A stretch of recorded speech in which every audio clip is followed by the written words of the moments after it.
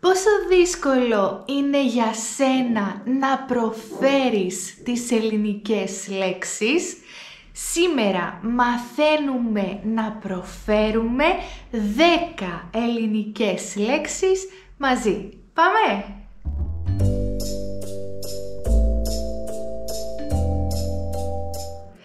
Γεια σας αγαπημένοι μου, καλώς ήρθατε και πάλι στο κανάλι μου. Είμαι η Αλεξάνδρα και είμαι η δασκάλα του Do You Speak Greek. Έχω παρατηρήσει ότι για τους μαθητές μου είναι λίγο πιο δύσκολο να προφέρουν τις λέξεις που έχουν πολλά σύμφωνα ή πολλά φωνήεντα στη σειρά. Γι' αυτό λοιπόν σήμερα διάλεξα 10 λέξεις που έχουν είτε σύμφωνα είτε φωνήεντα. Πάμε να τις δούμε.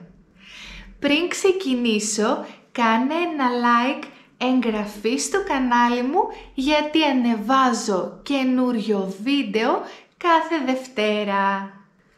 Λοιπόν, θα προφέρω πρώτα εγώ τη λέξη και θέλω εσύ να την επαναλάβεις, δηλαδή να ξαναπείς τη λέξη μετά από μένα.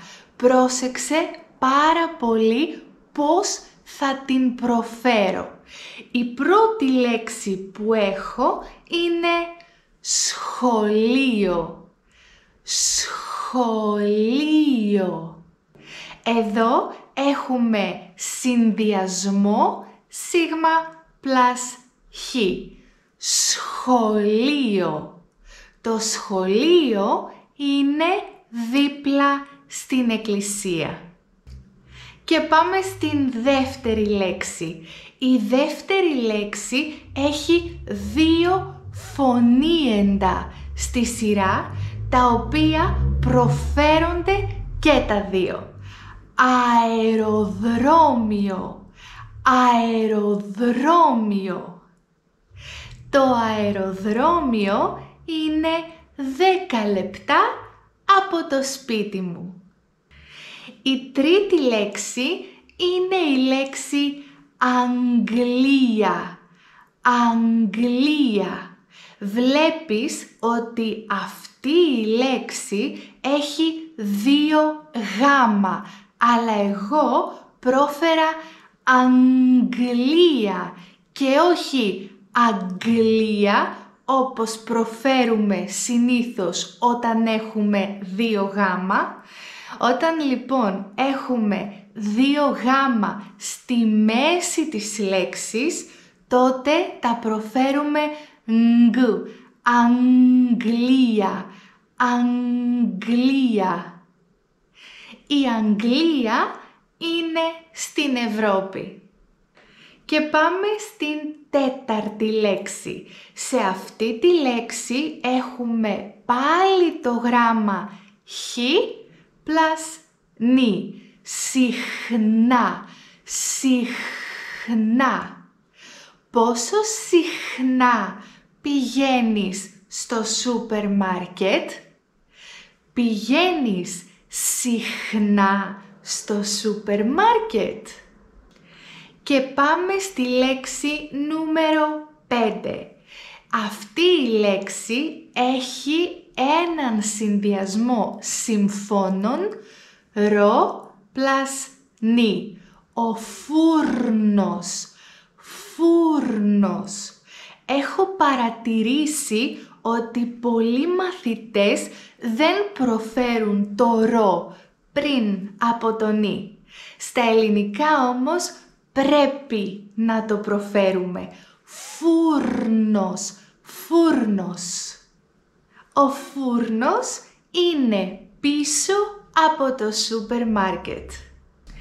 Στην ίδια κατηγορία είναι και η επόμενη λέξη. Εδώ συνδυάζουμε το ρο με το μη. Φαρμακείο, φαρμακείο, φαρμακείο. Το φαρμακείο είναι δίπλα στην τράπεζα. Και πάμε στη λέξη νούμερο 7. Το φθινόπορο. Ξέρω ότι ο συνδυασμός αυτών των δύο συμφώνων είναι αρκετά δύσκολος. Φι plus θήτα. Φθι. Φθι. Φθινόπορο. Τώρα έχουμε φθινόπορο. Στην επόμενη λέξη έχουμε πάλι το φι, αλλά αυτή τη φορά το συνδυάζουμε με το λάμδα. Αυτό ίσως είναι λίγο πιο εύκολο για σένα. Φλιτζάνι, φλιτζάνι. Βάζω τον καφέ μου στο φλιτζάνι. Λοιπόν, πρώτη-τελευταία λέξη η λέξη μαϊντανός. Μαϊντανός. Λοιπόν, εδώ έχουμε το ΑΙ που ξέρεις ότι προφέρεται ε, αλλά βλέπουμε πάνω στο γιώτα αυτές τις δύο τελείες που λέγονται διαλυτικά.